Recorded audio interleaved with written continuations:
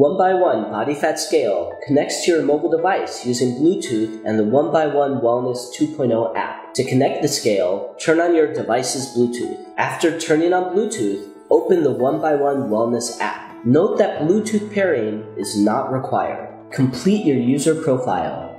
This will assist the scale to provide more accurate body measurement readings, including body fat and water percentage, muscle and bone mass, and visceral fat. Next, select your fitness profile. Ordinary is for users doing normal exercise two or less days per week. Amateur is for professional training five or less days per week. And professional is for users doing professional training every day.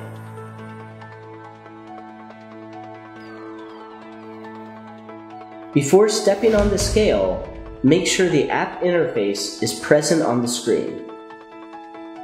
Take off all socks and shoes so your feet are in direct contact with the scale. Stand still and a notification will appear in-app requesting data be received from the scale. Select Yes to start receiving scale data. In addition to body weight and the aforementioned measurements, this scale also provides estimates for BMI and BMR. This scale can store up to 10 user profiles, meaning one scale can monitor your entire family's health. One by One Wellness 2.0 app can also calculate body weight for babies. Just choose baby mode and complete your baby's profile.